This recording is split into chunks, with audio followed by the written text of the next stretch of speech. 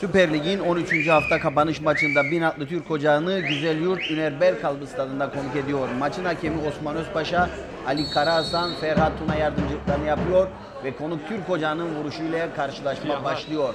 İlk atak şimdi Binatlı takımından geliyor. Sağ taraftan yapılan orta ceza sahası içerisinde Peter indirdi. Savunma seken top. Taner savunma ters bir vuruş. Kaleci Andreu başarılı.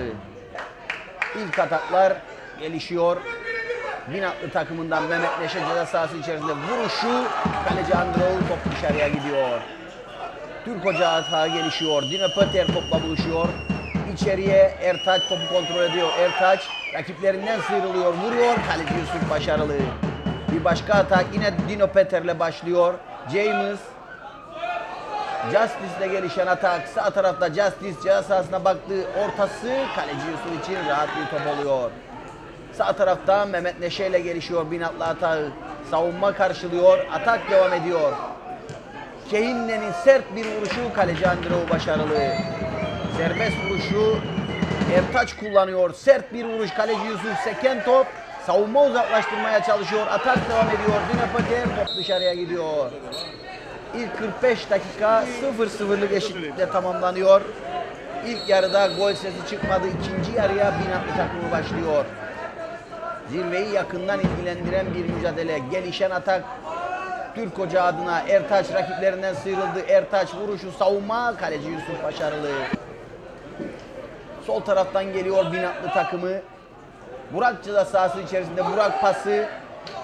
Mehmet Neşe topla buluşuyor. Vuruşu direkten dönüyor. Şanssız bir dakika Binatlı adına savunma uzaklaştırıyor.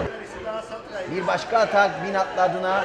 Yine Mehmet Neşe ceza sahasında vuruşu kaleci Andreu. Seken top savunmada Mustafa Avcı uzaklaştırmayı başarıyor.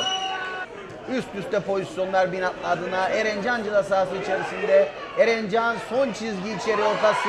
Peter topu ağlara gönderiyor. Dakika 62. Gol Peter Binatlı Türk Ocağı karşısında 1-0 öne geçiyor. Erencan'ın golde katkısı büyük. Ve Binatlı kendi saha ve seyircisi önünde Türk Ocağı karşısında 1-0 öne geçiyor. Serbest vuruş kullanıyor Ertaç. Direkt kaleye asfaltla top dışarıya gidiyor. Beraberlik arıyor Türk Ocağı takımı. Köşe vuruşu kullanıyor Murat Gertik. Seken top Erbay. Peter, kaleci Andreu başarılı. Gelişen Türk Ocağı atağı. Dino Peter süratli. Dino Peter son çizgi, içeri ortası. Seken top, gol pozisyonu. Ertaç vuruş ve gol. Dakika 75, gol Ertaç.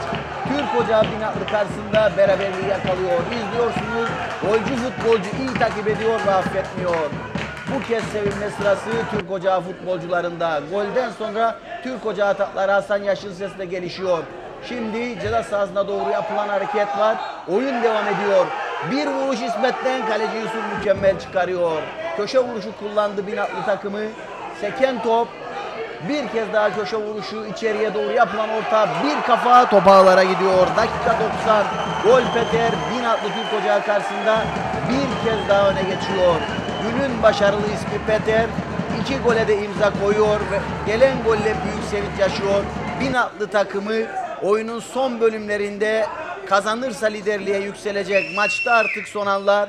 Savunma bir türlü uzaklaştıramıyor. Bilal ve sonrasında Osman Öz- Özpaşa'nın çalan düdüğüyle 90 dakika tamam.